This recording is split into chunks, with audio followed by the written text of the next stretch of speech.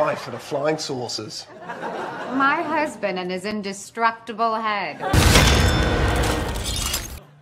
Wait, now hang on there a minute.